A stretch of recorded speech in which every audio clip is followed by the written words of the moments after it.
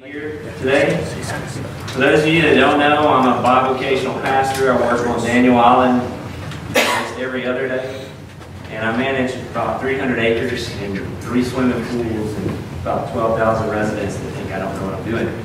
So, uh, over the past four weeks, I have been investigating and chasing down a vandal that has been doing things at two out of the three pools over the past weekends. And I've had to surveil cameras for nights on end to try to catch or apprehend this vandal. And after three weeks, last week, I finally got an identification and some distinguishing characteristics that the city of Charleston and I, uh, working together, uh, finally apprehended uh, this vandal, uh, was it, on Wednesday. But prior to that, it was just frustrating because every time I thought I would get close to apprehending this person, it's just go away. So I just prayed and I said, God, look, this has occupied my mind for three weeks and I don't want to own this anymore. If it's your will to let this vandal go let him stop, and let it be.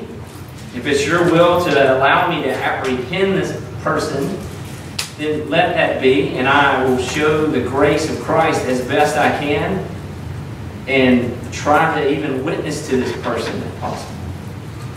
Said it that night that we apprehended the vandal. Uh, teenager. And so we had the opportunity to press charges or rehabilitate. And so I spoke with the father and I said, you know what? Obviously, there's a reason why this person did it. Putting them in juvenile detention is not going to solve that issue or that obstacle that this person needs to overcome. I want to show them the grace of Jesus Christ and let them go, but what I ask is that they come work with me for two days. So I had the opportunity to work with this young person most of the day on Friday. I don't know if this person's a believer or not, but he did hear about my own witness and my own faith and how even my own struggles with having divorced parents made me even act in some ways that this person did. And I gave him my card and I said, look, I'll see you Monday, but that's not the end of this. Because I want you to know that even though you might think you don't have a friend, you have a friend in me now.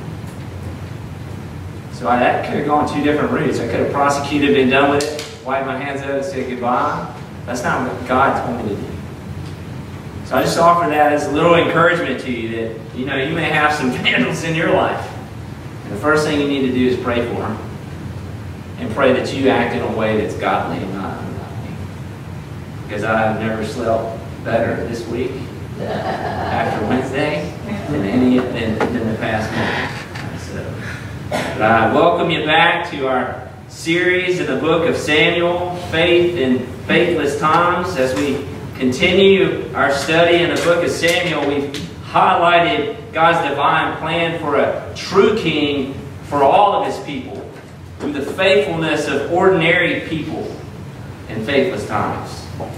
And as I've discussed previously our country's history as well as even the world's history. There's always been this commonality among the people of their respective countries.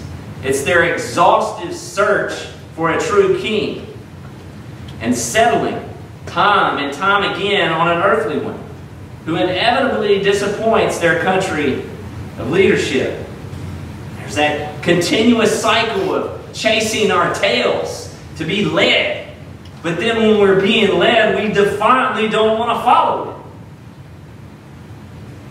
Judges 21 and 25, I'm going to rehash this every single week. In those days, there was no king in Israel. And everyone did what was right in his own eyes. We discussed Samuel's call last week by God to become the last judge for God's chosen people. And although Samuel was just merely a teenager, he heard God's call and he answered it. And we spoke about the importance of blowing the dust off of the Bible digging into the scriptures so you could hear his words come to life. Samuel also received difficult words from God to share with his mentor, the main priest, Eli, which he inevitably spoke to, and Eli followed. But by, and even by sharing this news with Eli, God blessed Samuel's faithfulness and affirmed him and blessed his ministry so much that in 1 Samuel 3 it says, And Samuel grew, and the Lord was with him. Let none of his words fall to the ground. And all Israel, from Dan to Beersheba, knew that Samuel was established as a prophet of the Lord. And the Lord appeared again at Shiloh, for the Lord revealed himself to Samuel at Shiloh by the word of the Lord. And it leads me into today's text. 1 Samuel 8.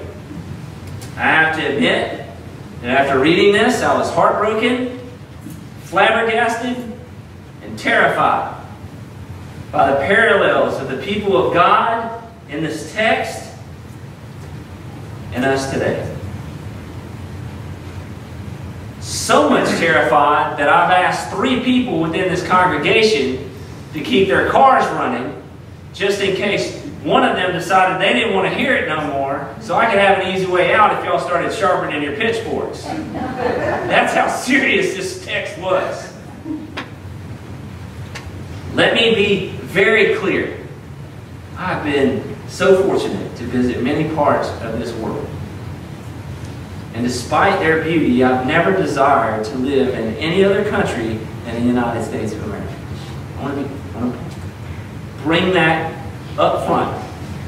But I have a much greater kingdom in heaven to come as a child of God. And it's my conviction that today's message is a warning shot across the bow of our lives to remind us that our allegiance stands before God first and foremost before any others. Our God is bigger than our country. And we need a revival soon. We need to get back to the basics and the foundations of our faith that God Himself and Jesus Himself taught. It leads me into today's text in 1 Samuel, which is in the first part of the Old Testament, right after the book of Ruth. And since this text is so large, I'm going to be breaking it up in pieces throughout this sermon. So I'd ask you to open your Bibles to 1 Samuel 8 and start with me in verse 1, and we'll also have them on the screen. when Samuel became old, he made his sons judges over Israel. The name of his firstborn son was Joel, the name of his second Abijah. And they were judges in Beersheba. Yet, his sons did not walk in his ways, but turned aside after gain. They took bribes and perverted justice.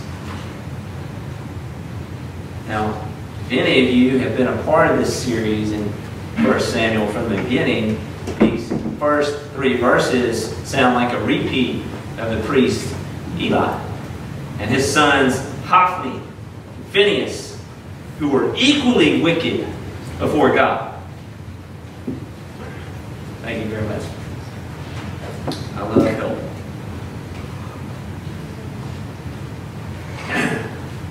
Eli's inability to lead his sons was God's decision to call Samuel to become the last judge of the people.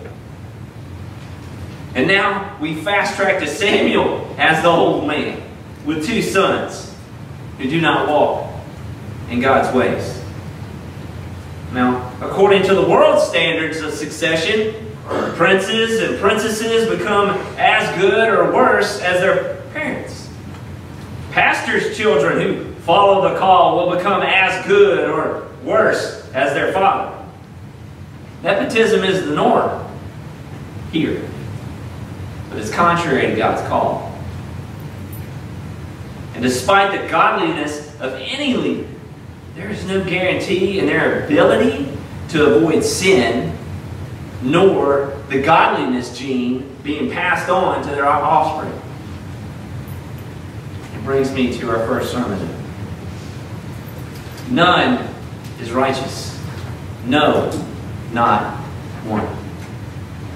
None is righteous. No, not one. Romans chapter 3, verses 10 through 12 says, As it is written, none is righteous, no, not one. no one understands. No one seeks for God. All have turned aside. Together they have become worthless. No one does good, not even one. Samuel was chosen by God to judge Israel all the days of his life, but he wasn't a perfect man either. He gave his sons opportunities to follow in his call, but they took advantage of their father's name to pervert justice. They took bribes for crying out loud. As leaders of the faith.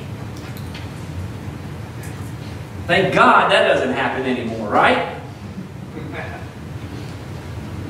The elders and most of Israel knew about Eli's, Samuel's sons being so disrupt and perverted and wicked people.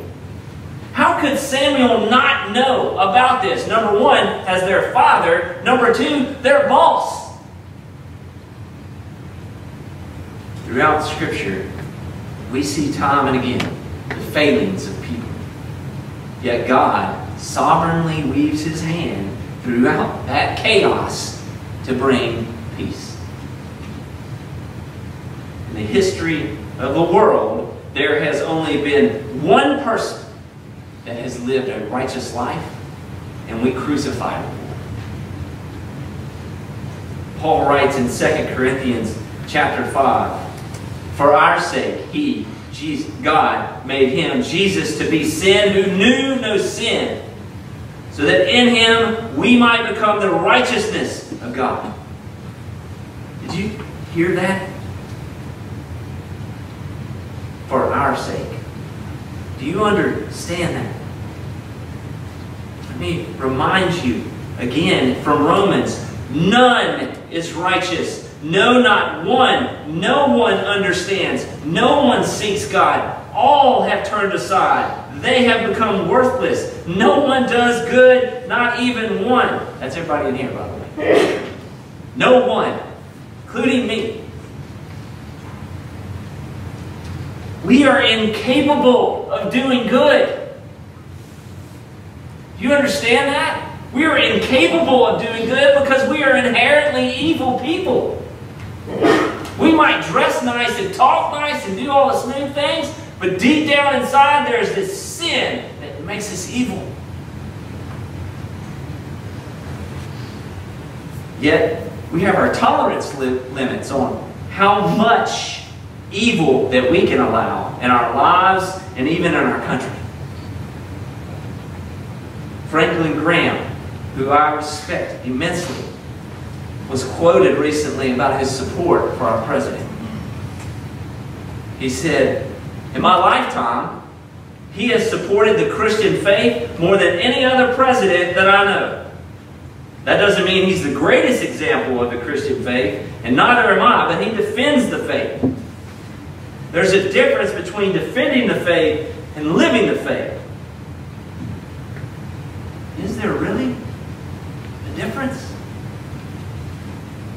James, Jesus' brother says, But someone will say, You have faith and I have works. Show me your faith apart from your works, and I'll show you my faith by my works.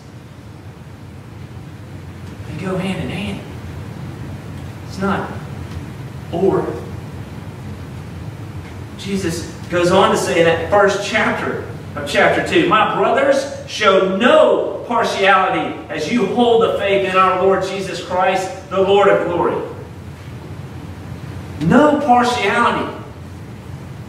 He goes on in that chapter to condemn people who show favor to a rich person compared to a poor person.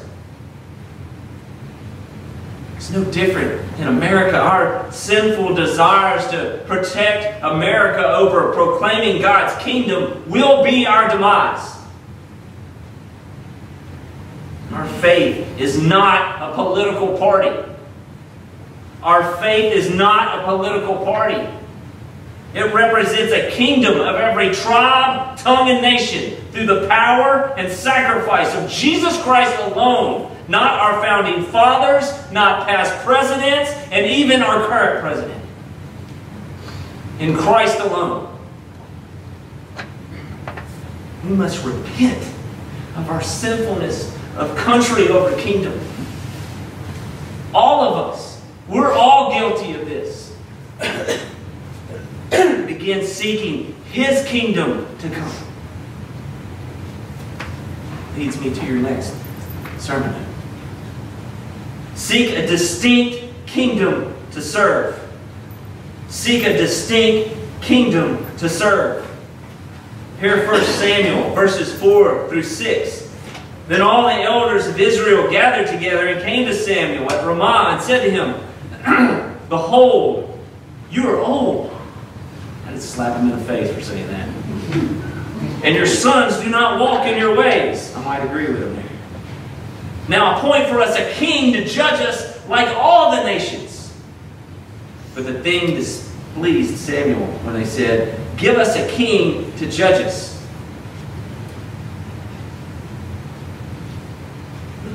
So in our minds, based on our democracy, this is obvious. Got a group of leaders that want to get rid of a Babylon. Country has a bunch of devious people in power, so let's just find some replacements. The issue lies in their ideals for that.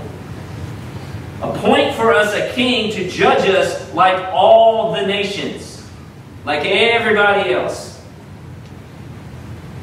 We want to look like the other nations with a, with a king, so give us that. Grass is always greener over there, so let's replicate it. the nation of Israel was never chosen to be similar to the nations. Genesis 12 says, Now the Lord said to Abraham, Go from your country and your kindred and your father's house to the land that I will show you, and I'll make you a great nation. I'll bless you, I'll make your name great, so that you will be a blessing. I will bless those who bless you, and him who dishonors you I will curse. And in you all the families of the earth shall be blessed. Not just the Hebrew people, all the families of the earth shall be blessed. God's kingdom on earth as it is in heaven will be great, will be blessed, and will bless all the families of the earth. They would be blessed because God was their king, not Abram, Abraham, you name it. The elders needed God, not an earthly king. America and the world need God, not a king, not a queen, or a president. We need God as our king. Jerry Falwell Jr in defending the president said this There are two kingdoms there's the earthly kingdom and the heavenly kingdom. And in the heavenly kingdom, the responsibility is to treat others as you like to be treated. In the earthly kingdom, the responsibility is to choose leaders who will do what's best for your country. Jesus says in Matthew 6, For the Gentiles seek after all these things and your Heavenly Father knows that you need them all, but seek first the kingdom of God and His righteousness. And all these things will be added to you. In the Lord's Prayer, we speak, Your kingdom come, Your will be done on earth as it is in heaven. Our responsibility isn't to just choose leaders who will do what's best for our country, but seek God's presence and hand within this country for His will to be done. America should not be revered as the greatest country of the world, but as Jesus taught, as the light of the world. A city set on a hill cannot be hidden. We must repent of our human dependence on other people. Pray for God's counsel for this country and the world. Not God bless America, God bless this world. It is your kingdom to come. We must exhaust our energy and sharing the gospel of Jesus Christ in word and deed with our neighbors, our friends, our colleagues, our family, our strangers, and even our opponents every day. Our singular focus in salvation through Jesus Christ for all will bring liberty and justice for all for eternity.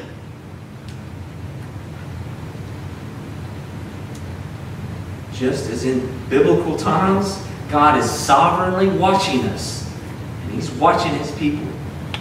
We must return to Him.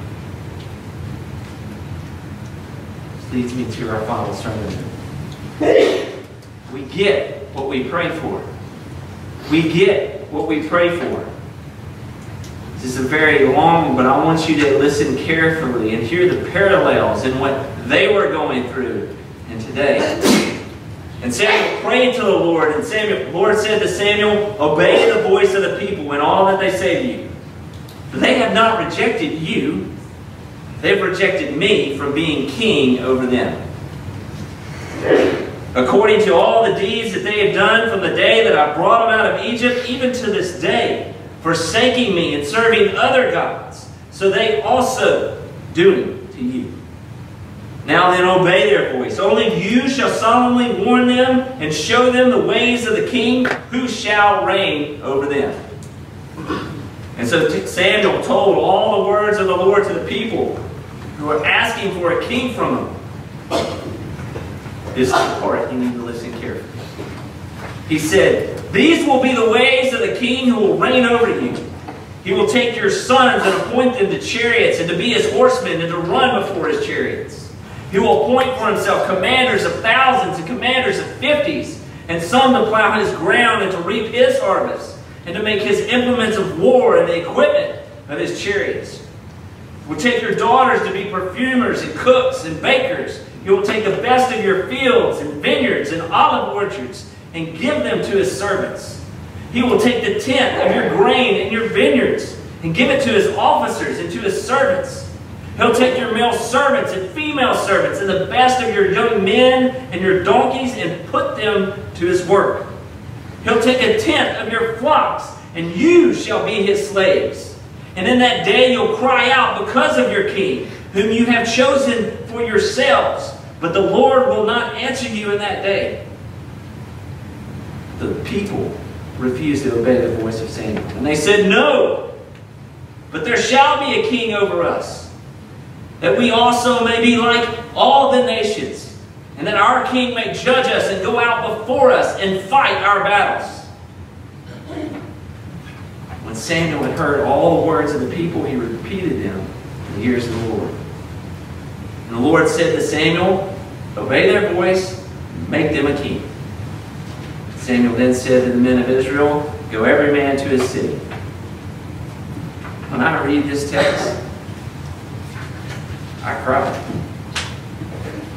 I'm humbled by God's prophetic words for us today. Verses 11 through 12 should strike a chord with the formation of an army through the selection of sons for service. This isn't any different than the selective service or draft that exists within America today. Verses 14 through 17. He'll take the best of your fields and vineyards. He'll take the tenth of your grain in your vineyards. He'll take your male servants and female servants and the best of the best. He'll take a tenth of your flocks. The king will take the best. He will take a tenth. Does any of that sound like eminent domain to you? If it doesn't sound like eminent domain. How about paying a tenth? Sounding a lot like that. It's funny, but it's not. What about the amount of taxes withheld from your paychecks on a regular basis? When we see these amounts taken out, we proclaim verse 18. And in that day you'll cry out because of your king, whom you've chosen for yourselves. The Lord will not answer you in that day. We get what we pray for. Let me be clear. The pastoral side note. I am not condoning not registering for selective service. I had to. I'm not condoning not paying taxes on a religious basis. Jesus says, therefore, render to Caesar the things that are Caesar's, and to God the things that are God's. Be the IRS coming up and saying, well, you told these people not to pay taxes. I don't need that. But I am convicted that we have gotten our priorities of this life all jacked up. The Lord is speaking to us in verse 7. For they have not rejected you, but they've rejected me from being king over them. We have rejected God and being king over us in our personal lives, in our country, and in this world. And as a group of people, we are proclaiming to be His church. We must repent of our apathy in seeking God's will for our families' lives. We must repent of arbitrating our faith to presidents, governors, mayors, senators, congresspeople, and judges.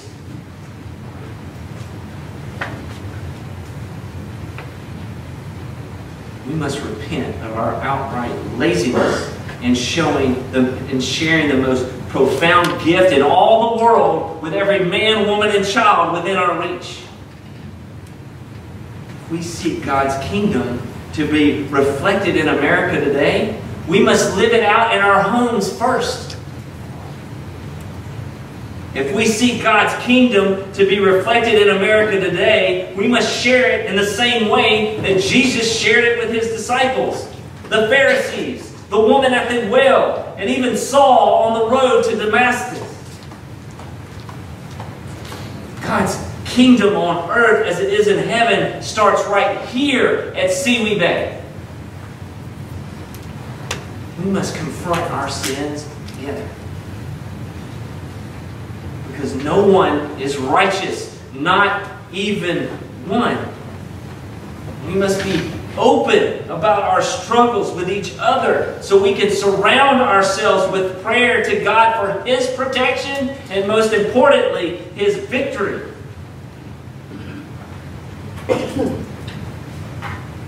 you want prayer in schools? Teach your kids to pray. Teach your kids to pray. You want the Bible back in schools and in government and other in your workplace? Take your Bible with you. You're called to be a light of the world, not just on Sundays. If you want to reflect His kingdom and you want God to reclaim America as His country, then we have to start living it and praying for His will to be done on earth as it is in heaven. And also understand that this is His country. This is His world. It's not God bless America and nobody else. It's God bless us. I pray for the Iranians who only know Muhammad or Allah. I pray for the Indians with their multiple gods that they pray and not one is Jesus. Well, they pray for Jesus, but that's one of thousands. Even in our rural backyard here, there are people who don't even know Jesus Christ yet. And those are the ones we should meet first.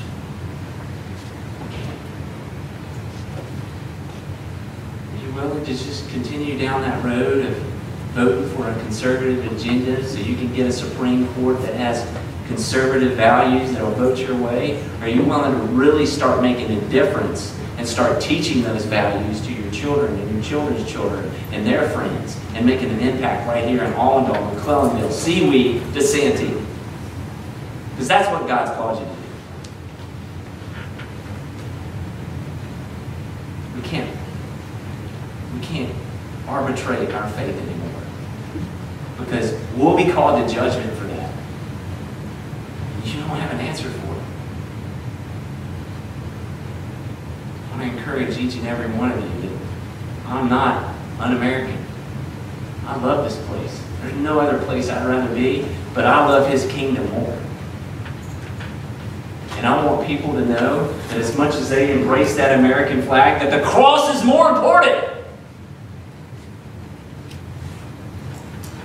If you love that as much as the cross, you really need to talk to God. Because without Him, we would not have that. And it's our responsibility. We are the caretakers of this country that we live in right now, so we have that responsibility to carry the light of the world for God and His kingdom, America and beyond. You ready